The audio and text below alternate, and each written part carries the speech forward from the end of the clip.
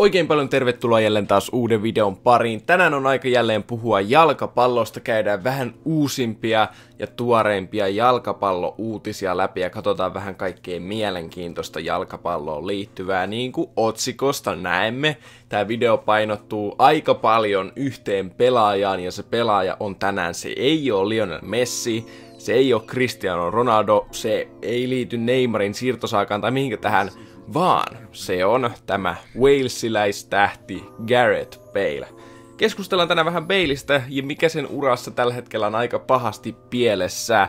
Ja tota noin, niin kaikista tosta myös me puhutaan vähän Etelä-Amerikan mestareen liikasta tänään. Katsotaan vähän sitä, että miten siellä on oikein käynyt, koska lopputulos sieltäkin on saatu, saatu kansan tietoisuuteen, voisiko näin sanoa. Ennen kuin hypätään itse videon parin, muistakaa tilata kanava. Jos tilaatte, saatte mulle varmasti hyvän mielen, joten kannattaa tilata. Miksei? Muistakaa tykätä videosta, muistakaa kommentoida, että onko teidän mielestä Garrett Balein ura ohi.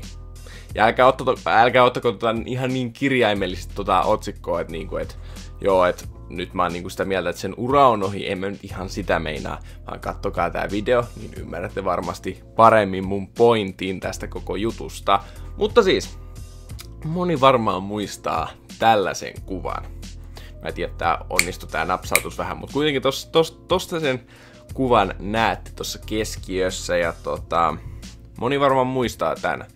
Eli siinä, siinä lukee Wales, Golf ja Madrid in that order, mikä tarkoittaa siis, että Wales, Golf ja Madrid siinä järjestyksessä. Ja tää, mihin, mi, mihin, miten tämä liittyy tähän koko juttuun on se, että tosiaan tuossa reilu viikko sitten, kun Wales varmisti kisapaikkaansa ensi kesän EM, eli e- Euroopan mestaruuskisojen, jalkapallon Euroopan mestaruuskisojen 2020, niin kuin varmisti kisapaikan, niin, tota, noin, niin sitten ne juhli tällaisella lipulla, missä Bale pitelee tässä lippua, missä lukee Wales, Golf ja Madrid siinä järjestyksessä. Ja Real Madrid-fanit otti tästä kyllä aika itteensä tämän koko homman, että hetkonen, onko Bailin arvojärjestyksessä Madrid, eli Real Madrid, eli Bailin seurajoukkueen vasta viimeisenä, ja golfkin menee niin kuin tavallaan Bailin pään sisällä Madridin edelle. No eihän tämä nyt ihan sitä tarkoita kirjaimellisesti, vaan tämä on lähinnä niin kuin vitsi Baililtä, mutta Bale on suoraan sanonut, että se tykkää enemmän pelata Walesin eli maajoukkueessa kuin seurajoukkueessa, kuin seurajoukkueessa, eli Real Madridissa. Ja tämä on sinänsä aika huolestuttavaa, koska futispelaajat pelaa kuitenkin suurimman osan kaudestaan seurajoukkueessa.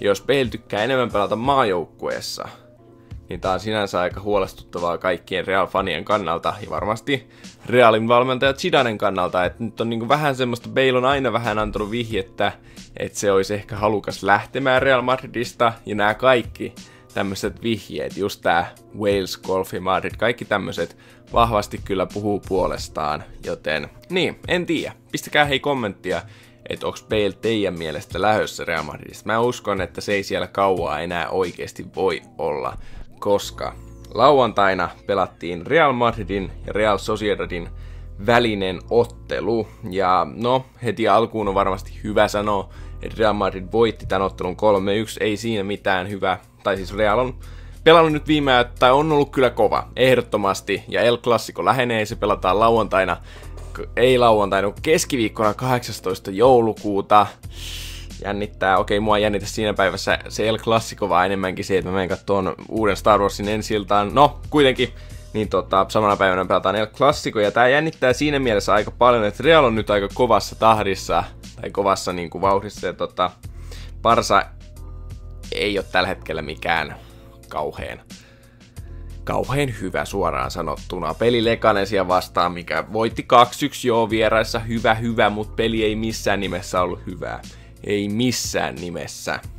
Et tota, huolestuttavalta näyttää ja Real on saanut nyt kyllä itselleen todella kova vaiheen päälle, että jos mä alkukaudesta moitein Realia, niin nyt kaikki Real-fanit voi olla sillä, että hei, nyt se kehuu, koska se on oikeasti pelannut nyt hyvin, joten mä myönnän sen. Mutta tosiaan Real Sociedadin William Jose laittoi kahden minuutin kohdalla yhteen nollaan, no sitten Benzema pisti yhteen yhteen, Valverde kahteen yhteen ja Modric kolmeen yhteen. No, pelistä kuitenkin yksi tärkeimpiä juttuja on se, että Garrett Bale pääsi loukkaantumiseltaan kentälle. Se loukkaantui lokakuussa muistaakseni, ja nyt sitten pääsi pitkästä aikaa kentälle. Tuli se 67 minuutilla.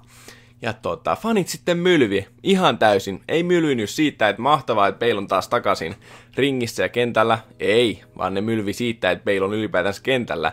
Ja ne buuas ja huus Baleille. Eli niin kuin tää on huono juttu. Että Bale sai aika paljon lokaa tuossa lauantai-pelissä niskaan. Ja tota, uskon kyllä, että jos pelaaja saa niin kuin niin paljon lokaa niskaan kuin Bale saa, niin voi olla, että ei kyllä kauaa enää viihdy. Ja Zidane on tästä tilanteesta erittäin huolissaan siinä mielessä, että Bale on kuitenkin parhaimpina aikoina todella todella hyvä pelaaja. Voidaan muistaa kahden vuoden takainen mestariliikan finaali, jossa se teki Saksarin ja loistavan vedon. Okei, se oli ehkä vähän Karjuksen vähän semmonen huono, huono päästö, mutta kuitenkin teki voittomaalit. Tosiaan Real voitti sen silloin, olisi 3-1. Joo, Bale teki kaksi maalia, että se on niinku välillä loistaa. Ja alkukaudesta Bale oli ihan hyvä. Sitten tuli loukkaantuminen, ja sitten tuli tämä Wales Golf ja Madrid juttu, mikä oli aika hölmö siinä mielessä, että nyt sitten Real Madrid on aika lailla Baleä vastaan. Zidanehan, Zidane ei ottanut varsinaisesti tähän lippujuttuun kantaa, vaan se on vaan niin kuin sanonut, että tämä on tosi, tosi kurja juttu Balein kannalta, että fanit nyt sitten on Baleä vastaan. Koska se on ehdottomasti, se ei ole kivaa pelata seurajoukkueessa, jossa omat fanit niin kuin huutaa sua vastaan. Ja tämä nyt sitten lähinnä tarkoittaa sitä, että Bale on jo 30-vuotias, et periaatteessa ensinnäkin se, että Realissa nyt sitten uusina pelaajina on Hazard, Rodrigo alkaa näyttää aika hyviä merkkejä, että Bale ei välttämättä kohta ole enää edes avauksen mies, jos se olisi siis kunnossa. Että tota, voi olla, että Bale lähtee kyllä, lähtee pois Realista ja yksi kohde voisi olla sen entinen seura Tottenham, koska siellähän on nyt pyörii Jose Mourinho managerina, niin se voisi hyvinkin olla, että hei, tosta saisi Balein tasoisen pelaajan voisi saada jopa kohtuu halvalla, koska jos Bale tosiaan haluaa lähteä ja fanit haluaa, että se lähtee, niin eiköhän tämä siirto saada onnistumaan. Kaiken lisäksi Bale on suoraan sanonut just sen, niin kuin mä sanoin, että se tykkää enemmän pelata maajoukkueessa kuin seurajoukkueessa. Ja Bale on tunnustautunut golfin faniksi. Ja käytännössä tuossa lipussa se sanoo suoraan, että se tykkää enemmän golfin pelusta kuin pelusta Real Madridin kanssa. Ja se jos joku on huolestuttavaa. Ja sen takia tämä koko otsikko, että onko Balein ura ohi. Se ei ole missään nimessä ohi, mutta jos ei se sitä saa nyt oikeille raiteille, niin se voi olla aika piankin ohi, koska ei voi kestää sitä, että joka viikko tai viikosta toiseen tulisi faneilta buuauksia ja huutoja. Ei sellaista, ei sellaista kestä hulluka, ihan oikeasti. Et nyt Beilin tarvii suoraan tehdä jotain tuolle uralleen, että se saadaan oikeille raiteille. Beilistä on tarpeeksi puhuttu tältä päivältä mun puolesta. Nyt voidaan siirtyä päivän toiseen uutisaiheeseen ja se koskee Copa Libertad Tadosia. Se oli jotenkin vaikea sanoa. Eli tämä Etelä-Amerikan mestareiden liiga, eli vähän niin kuin samantasoinen niin kuin siis Etelä-Amerikan parhaiden joukkueiden kilpailu vastaa Euroopan mestareiden liigaa. Ja tota noin, niin tuossa muutama päivä sitten, mikäs päivä se pelattiin, auttakaas ihan sekunti, pelattiin siis Copa Libertadorsen finaali lauantaina, viime lauantaina, eli tässä on 23. päivä Flamencon ja River Plate välillä, eli brasilialaisen seuran ja argentiinalaisen seuran välillä. Ja tota, erittäin mielenkiintoinen matsi ehdottomasti.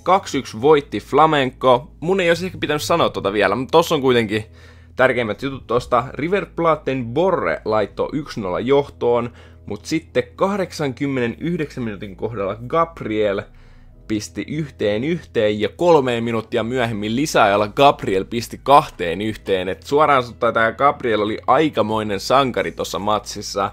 Et miettikää, että vielä 88 peliminuutilla River Plate johti 1-0. Mut sitten muutamaa minuuttia myöhemmin Gabriel tuli ja pisteli kaksi maalia.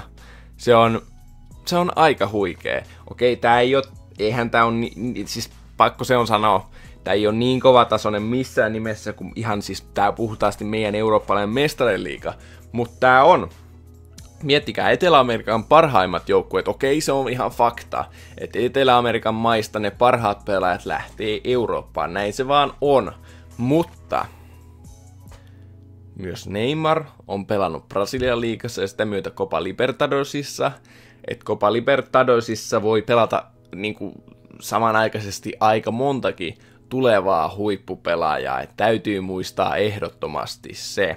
Et ehdottomasti kovatasoinen kilpailu ja kova ottelu, ja vielä kerran onnittelut Flamencolle. Ja jos täällä Suomessa on jotain Flamenco-faneja, niin kertokaa omat mielipiteet, mitä mieltä olitte tuosta matsista, oliko teistä mahtavaa, että Flamenco voitti, ja muut katsojat, kertokaa mitä mieltä tuosta koko Bailin urasta, ja mitä siihen oikeastaan nyt pitäisi tehdä, että se saataisiin oikeille raiteille.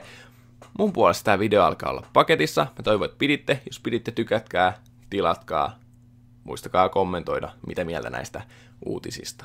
Muistakaa pitää hauska päivä, se on tärkeää. Nyt se on mun puolesta moi.